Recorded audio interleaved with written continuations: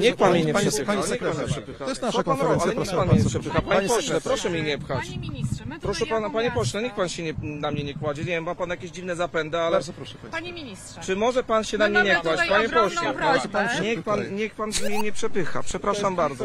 Ale pan się na mnie kładł, więc jakby... Zaraz panią też pan popchnie, Słuchaj, tak? nie, ja przecież to przed chwilą... Ale niech pan mnie nie dotyka.